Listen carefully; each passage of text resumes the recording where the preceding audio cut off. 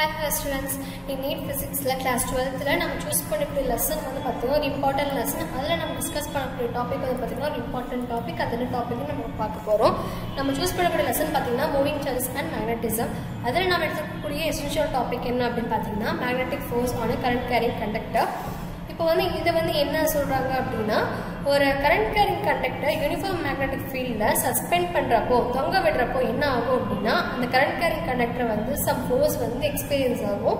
அந்த ஃபோர்ஸ் வந்து என்னன்னு சொல்கிறாங்க அப்படின்னா மேக்னெட்டிக் ஃபோர்ஸ்னு சொல்கிறாங்க அதோட ஃபார்முலா என்ன அப்படின்னா F equal to BIL sine theta பிங்கிறது உங்களுக்கு மேக்னெட்டிக் ஃபீல்டுன்னு தெரியும். ஐங்கிறது க ஃப்ளோ ஆஃப் கரண்ட்டுன்னு தெரியும்.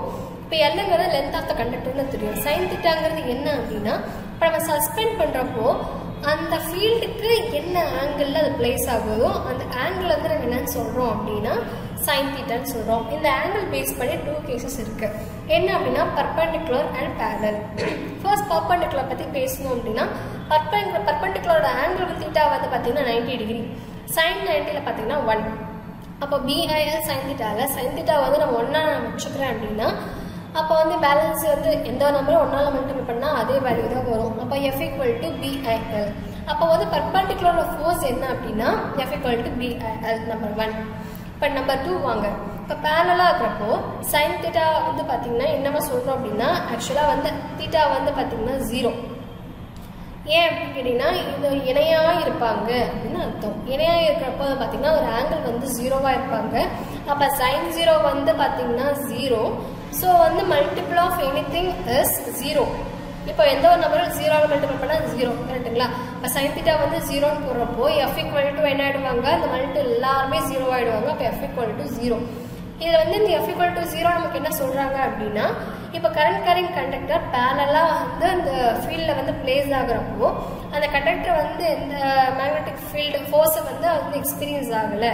அப்படின்னு சொல்லி சொல்கிறாங்க அப்போ எஃப் ஈக்குவல் டு ஜீரோ அப்போ வந்து எனி அதர் ஆஃப் வந்து இப்போ தேர்ட்டி ஃபார்ட்டி ஃபைவ் சிக்ஸ்டி அந்த மாதிரி ஆங்கிள் இருக்கிறப்போ நம்ம என்ன ஃபார்முலா யூஸ் பண்ணுறோம் F equal to BIL sine use பண்ணுறோம் பர்பண்டிகுலர் நைன் டிகிரியில் இருக்குது அப்படின்னா F equal to BIL use பண்ணுறோம் பேரலாக இருக்குது அது ஜீரோவாக இருக்காங்க. ஜீரோ டிகிரியில் இருக்காங்க அப்படின்னா எஃப் ஈக்குவல் டு ஜீரோன்னு சொல்லி சொல்கிறோம் ஸோ உங்களுக்கு இந்த பேசிக் கான்செப்ட் வந்து உங்களுக்கு அண்டர்ஸ்டாண்ட் ஆயிருக்குன்னு நினைக்கிறேன். நெக்ஸ்ட் இது பேஸ் பண்ணி நம்ம வந்து ரெண்டு கேசஸ் பார்க்க போகிறோம் first case A straight wire of length 50 cm carrying a current of 2.5 ampere is suspended in mid air. இது ஒரு மீடியம் என்னவா இருக்காங்க மிட் ஏர் மீடியமா இருக்காங்க by a uniform magnetic field வந்து of 0.5 tesla as shown in the figure. Come on.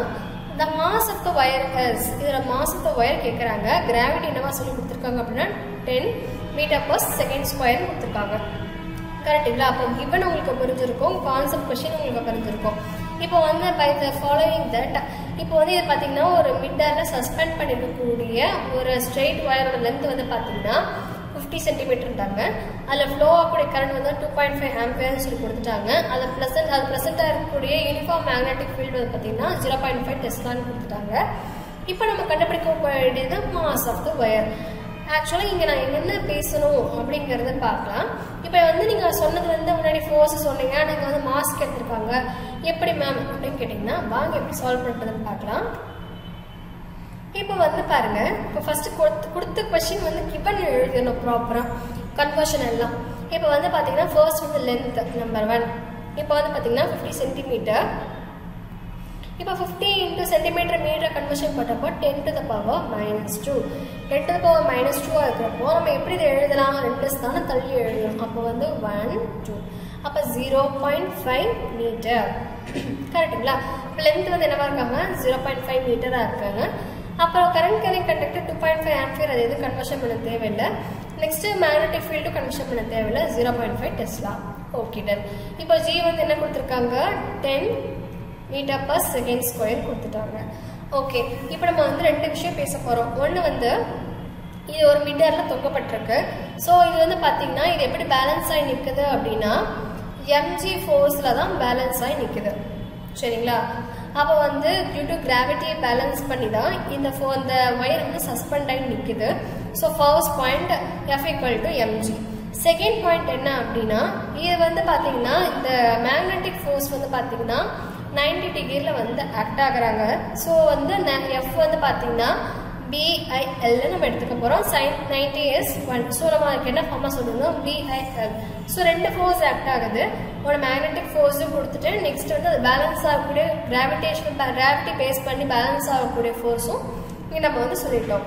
அப்போ வந்து நம்ம என்ன எழுதலாம்? F equal to mg, F equal to BIL. இப்போ வந்து இங்கே equation 1, இங்கே equation 2. இப்போ அவங்க ரெண்டு பற்றி ஈக்குவல் பண்ண ஈக்குவேட் பண்ணுவோம் அப்போ எம்ஜி ஈக்குவல் டு பிஐஎல் கரெக்டா நம்ம கண்டுபிடிக்க வேண்டியது யாரு? மாஸ் தான் நம்ம கண்டுபிடிக்கணும். அப்போ அவங்க கிராவிட்டி ஈக்குவல் டு அந்த கொண்டு போயிடலாமா? அப்போ F M equal to BIL divide by g நம்ம வந்து இப்போ நம்ம எல்லா வேல்யூமே இருக்குது ஜஸ்ட் சப்ஸ்டியூட் பண்ணி நம்ம வந்து சால்வ் பண்ணால் போதும்.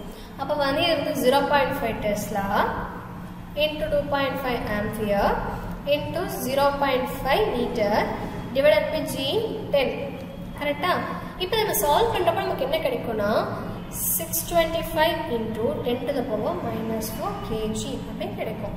இப்போ இந்த கேஜி வந்து நம்ம என்னவா எழுதலாம் அப்படின்னா ஆக்சுவலி இப்போ ஒரு கிராம்லேருந்து நம்ம ஒரு கேஜி கன்வர்ஷன் பண்ணோம்னு வச்சுக்கோங்களேன். அப்புறம் நம்ம என்ன எழுதுவோம்? டென் டு பவர் மைனஸ் த்ரீன்னு எழுதுவோம். இப்போ அதே வந்து கேஜிலேருந்து கிராமுக்கு போகிறாங்க அப்படின்னா டென் பவர் ப்ளஸ் த்ரீன்னு போவோம். கரெக்டாக இப்போ நம்ம வந்து என்ன பண்ண போகிறோம்னா கிராவிட்டி கிராமுக்கு வந்து மாற்ற போகிறேன் அப்போ டென் பவர் த்ரீன்னு போட போகிறேன் அப்போ வந்து M equal to six two five into ten to the power minus four கேஜிங்கிற பிளேஸில் டென் டு த பவர் த்ரீன்னு போடுறேன். இங்கே வந்து ப்ள மைனஸ் த்ரீ இருப்பாங்க. இங்கே ப்ளஸ் த்ரீ இருப்பாங்க. அப்போ அவங்க கேன்சல் பண்ணிட்டோன்னா நாலுலாம் மூணு போயிடுச்சுன்னா மிச்சம் ஒன்று தான் இருப்பாங்க. அப்போ six twenty five into ten to the power minus one இவ்வளோ தான் இருக்கும். இப்போ அதை ரெண்டு பவர் மைனஸ் பண்ண. ஒரு ஸ்தானம் தள்ளி புள்ளி வச்சோம்னா சால்வ் ஆகிடுவானா இப்போ sixty two point five gram அப்போ இதோட ஆக்சுவல் எக்ஸாக்ட் வேல்யூ என்ன? M equal to sixty two point five gram of இது யாரோட மாஸ் இது வந்து ஒரு ஸ்ட்ரெயிட் ஒயரோடைய மாஸ் ஓகேங்களா அப்போ நம்ம கொஷனில் வந்து நம்ம ஃபோர்ஸ் வந்து எப்படி ஆக்ட் ஆகுறாங்க என்ன கேள்வி கேட்குறாங்க அப்படிங்கிற கான்செப்டுவலாக நம்ம வந்து யோசிக்கணும். இந்த இடத்துல கிராவிட்டி வந்து இங்கே எப்படி ஆக்ட் ஆகுது எப்படி பேலன்ஸ் ஆகுது யோசிக்காமல் விட்டோம்னா கண்டிப்பாக இது வந்து ஒரு டிஃபிகல்ட்டான கொஷின் இதே வந்து நம்ம ஒரு ப்ராக்டிக்கலாக நம்ம யோசிச்சோன்னா அது ரொம்ப ஈஸியான கொஷின் ஓகே கான்செப்டுவல் ஸ்டடியாக இருங்க. நெக்ஸ்ட் வந்து இந்த கொஷின் உங்களுக்கு புரிஞ்சிருக்கும்னு நினைக்கிறேன். நம்ம நெக்ஸ்ட் கொஷின் நம்ம பண்ணலாம். ஓகே நெக்ஸ்ட் நமக்கு யார் கொடுத்துருக்காங்க அப்படின்னா three long straight parallel wire carrying current are arrange as shown in the figure. The force force experienced by a 25 cm length of wire வந்து பார்த்தீங்கன்னா சி சியோட லென்த் அதாவது எல்லாமே வந்து ஈக்குவலாக இருக்காங்க. இவங்களோட லென்த் வந்து பார்த்தீங்கன்னா அது ஒரு அந்த ஒயரோட லென்த் வந்து பார்த்தீங்கன்னா டுவெண்ட்டி ஃபைவ் சென்டிமீட்டர் ரைட்டா இப்போ வந்து இதில் என்ன கொடுத்துருக்காங்க? ஃப்ளோ ஆஃப் கரண்ட் வந்து ஆப்போசிட் டைரக்ஷனில் இருக்குது ஆக்சுவலி வந்து பார்த்தீங்கன்னா ஃப்ளோ ஆஃப் கரண்ட் சேமாக இருக்குது சேமாக ஃப்ளோவில் இருக்குது அப்படின்னா அது பார்த்தீங்கன்னா எஃப் வந்து பார்த்தீங்கன்னா அட்ராக்டிவாக இருப்பாங்க. அதே டிஃப்ரெண்ட் டிஃப்ரெண்ட் டைரக்ஷனில் போகுது அப்படின்னா வந்து பார்த்தீங்கன்னா ஃபோர்ஸ் வந்து ரிப்பல்சிவ் ஃபோர்ஸாக இருப்பாங்க. ஸோ வந்து இதில் வந்து ஆப்போசிட் டைரக்ஷன்ஸில் ஃப்ளோ ஆகிட்டு இருக்கும் இது வந்து பார்த்தீங்கன்னா ஒரு ரிப்பல்சிவ் ஃப்ளோஸ் இந்த ரிப்பல்சிவ் ஃபோர்ஸ் வந்து பார்த்தீங்கன்னா எப்படி வருதுன்னா இந்த சீக் வந்து எப்படி வந்து ஆக்ட் ஆகுது? ஃபோர்ஸ் வந்து எப்படி வந்து எக்ஸ்பீரியன்ஸ் ஆகுதுன்னு கேட்குறாங்க அப்படிங்கிறப்போ இந்த ரிப்பல்சிவ் ஃபோர்ஸ் எப்படி இருக்குன்னா டிலேருந்து சீக் வந்து எஃப்டியாக இருப்பாங்க. ஜியிலேருந்து பார்த்தீங்க அப்படின்னா எஃப்ஜியாக இருப்பாங்க. இவங்க ரெண்டு பேருமே பார்த்தீங்க அப்படின்னா நெட் ஃபோர்ஸ் வந்து நம்ம கண்டுபிடிக்கணும். டிக்கும் சிக்கும் என்ன ஃபோர்ஸ் ஆக்ட் ஆகுது? சிக்கும் டிக்கும் என்ன ஃபோர்ஸ் ஆக்ட் ஆகுது? இவங்களோட நெட் ஃபோர்ஸ் எக்ஸ்பீரியன்ஸ் என்ன அப்படிங்கிறது ஆக்சுவல் கேள்வி. சரி ஓகே நம்ம எப்படிங்க கண்டுபிடிச்சோம்னா வாங்க. உங்களுக்கு ஆல்ரெடி இந்த ஃபார்முலா தெரியும். Well known formula F F equal to mu naught I one I two L by two pi R உங்களுக்கு தெரிஞ்சது தான் இப்போ மியூ நோட் வந்து பார்த்தீங்கன்னா மீடியம் வந்து பற்றி பேசுவாங்க. அது வந்து பார்த்தீங்கன்னா constant value four pi into the power minus seven இப்போ வந்து ஐ ஒன் ஐ டூன்னு பேசுகிறோம் ஆக்சுவலாக ஃபர்ஸ்ட் வந்து நம்ம என்ன கண்டுபிடிக்க போகிறோம் அப்படின்னா டிக்கும் சிக்கும் வந்து பார்த்தீங்கன்னா இடையில எக்ஸ்பீரியன்ஸ் ஆகக்கூடிய ஃபோர்ஸ் தான் ஃபோர்ஸ் கண்டுபிடிக்க போகிறோம் எஃப்டி அப்போ ஐ ஒன் வந்து பார்த்தீங்கன்னா ஐ ஒன் வந்து பார்த்தீங்கன்னா டியோட தான் நம்ம எடுத்துக்க போகிறோம் ஐ டூ வந்து பார்த்தீங்கன்னா சியோடது எடுத்துக்க போகிறோம் அப்போ வந்து ஐ ஒன் வந்து பார்த்தீங்கன்னா தேர்ட்டி இன்ட்டு ஐ டூ வந்து பார்த்தீங்கன்னா ten divided by two pi into R வந்து நான் என்ன எடுத்துக்கிறேன் அப்படின்னா இதுக்கும் இதுக்கும் இடையிலான டிஸ்டன்ஸ் தான் நம்ம எடுத்துக்க போகிறோம் த்ரீ சென்டிமீட்டர் த்ரீ இன்ட்டு ரெண்டு பவர் மைனஸ் டூ ஸோ அப்போ இது வந்து சிம்பிளிஃபை பண்ணிடலாமா? சிம்பிளிஃபை பண்ணிடலாம். இங்கே எல் வந்து பார்த்தீங்கன்னா டுவெண்ட்டி ஃபைவ் சென்டிமீட்டர் அப்போ டுவெண்ட்டி ஃபைவ் சென்டிமீட்டர் கன்வர்ஷன் பண்ணுறப்போ டுவெண்ட்டி ஃபைவ் இன்ட்டு ரெண்டு பவர் மைனஸ் டூ அப்போ இவங்களெல்லாம் சால்வ் பண்ணிட்டு நம்ம வரப்போ நமக்கு என்ன வேல்யூ கிடைக்குது அப்படின்னா five into ten the power minus four newton கிடைக்கிறாங்க towards right கரெக்டுங்களா அப்படிங்கிறப்போ இது வந்து நமக்கு ஒரு வேல்யூ கிடைச்சிருச்சு. நெக்ஸ்ட் வந்து சீக்கும் ஜி வந்து நமக்கு வந்து சீக்கும் டீடைலான எக்ஸ்பீரியன்ஸ் வந்து நம்ம பார்க்க போகிறோம் ஃபோர்ஸை இப்போ சேம் ஆன்சர்ஸ் அதே எடுத்துக்க போகிறோம் ஜி வந்து பார்த்தீங்கன்னா ஐ ஒன்னு நான் எடுத்துக்கிறேன். சியோடத பார்த்தீங்கன்னா ஐ டூன்னு எடுத்துக்கிறேன். அப்போ வந்து மியூ நாட் உங்களுக்கு ஆக்சுவலாக வேல்யூ தெரியும். Four pi into power minus seven into two into twenty into அதாவது ஐ ஒன் வந்து twenty ampere into I two வந்து பார்த்தீங்கன்னா ten ampere divided by two pi into distance என்னது? டூ சென்டிமீட்டர் அப்போ radius R வந்து two centimetre நம்ம எப்படி எழுதலாம்? Two into twenty power minus டூன்னு எழுதலாம் மீட்டர் கன்வர்ஷன் இப்போ எல்லாம் வந்து உங்களுக்கு ஆக்சுவலாக வேல்யூ கொஸ்டினில் கொடுத்துருக்கான். Twenty five into twenty power minus two மீட்டராக இருக்குது சென்டிமீட்டராக இருக்குது ஸோ நான் மைனஸ் டூ போட்டிருக்கேன். ஸோ இவங்களெல்லாம் சால்வ் பண்ணுறப்போ உங்களுக்கு என்ன வேல்யூ கிடைக்குது அப்படின்னா five into ten the power minus four newton so ரெண்டு வேல்யூமே பார்த்தீங்கன்னா சேமாக இருக்காங்க. நான் முன்னாடியே சொல்லியிருந்தேன். என்ன சொல்லியிருந்தேன்னா இப்போ கரண்ட் ஃப்ளோ வந்து டிஃப்ரெண்ட் டேரக்ஷனில் இருக்குன்னா ஃபோர்ஸ் எக்ஸ்பீரியன்ஸ் வந்து பார்த்தீங்கன்னா ரிப்பல்சிவ் ஃபோர்ஸாக இருக்கும். அப்போ நெட் ஃபோர்ஸ் வந்து என்ன பண்ணணும் அப்படின்னா மைனஸ் பண்ணணும். இதே அட்ராக்டிவ் ஃபோர்ஸாக இருக்காங்க அப்படின்னா நம்ம ஆட் பண்ணிக்கலாம். சப்போஸ் வந்து இப்போ ரிப்பல்சிவ் ஃபோர்ஸ் வந்து மைனஸ் பண்ணணும். இட் இஸ் ரிப்பல்சிவ் ஃபோர்ஸ் அப்போ நெட் ஃபோர்ஸ் வந்து என்ன பண்ணுறேன் அப்படின்னா டியோட ஃபோர்ஸையும் ஜியோட ஃபோர்ஸையும் மைனஸ் பண்ணுறோம் இப்போ ஜியோவும் டியும் ஒரே வேல்யூவாக இருக்குது ஸோ ரெண்டுத்தையும் மைனஸ் பண்ணிட்டோம்னா நமக்கு என்ன வேல்யூ கிடைக்கும்? ஜீரோ தான் கிடைக்கும். ஸோ இது நெட் வேல்யூ ஃபோர்ஸ் வந்து பார்த்தீங்கன்னா என்னவா இருக்குது ஜீரோவாக இருக்குது அப்போ சி வந்து எக்ஸ்பீரியன்ஸ் ஆகக்கூடிய ஃபோர்ஸ் என்ன அப்படின்னா ஜீரோ ஸோ கான்செப்ஷன் வைஸ் உங்களுக்கு புரிஞ்சிருக்கும்னு நினைக்கிறேன். ஸோ வந்து இதில் ஃபர்தராக நம்ம வந்து இன்னும் நிறைய ப்ராப்ளம்ஸ் பார்க்கலாம். Thank you so much